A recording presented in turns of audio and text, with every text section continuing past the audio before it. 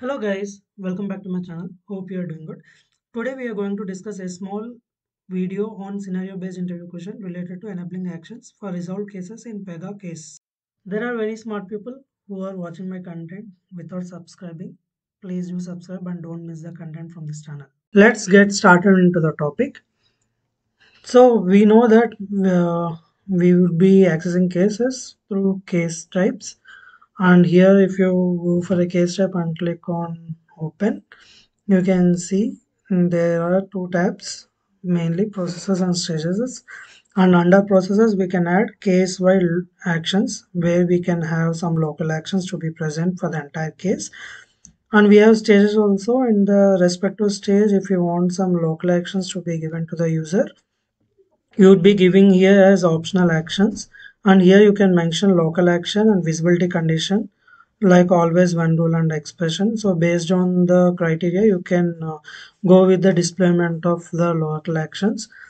And suppose if you want to uh, give a particular local action that needs to be displayed for the entire case life cycle you have to uh, consider it adding under processes case wide actions and we have here allow when case is resolved. So if you want to enable this particular local action to be performed on a case even though case is resolved you can uh, give this checkbox. Such that when case is resolved uh, then also you can see under actions tab this particular flow action.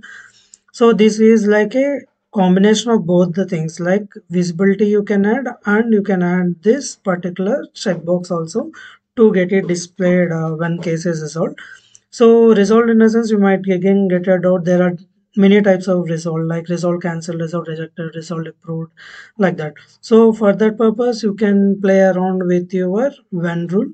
Suppose this is OOTB when rule where uh, it is already configured with resolved.